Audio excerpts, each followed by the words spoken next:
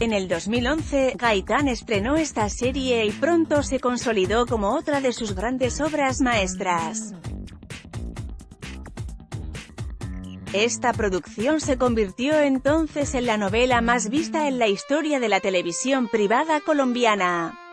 Azúcar, Ecomoda, Francisco el Matemático y Guajira, recordadas producciones en Colombia, también fueron obra de este genio de las telenovelas.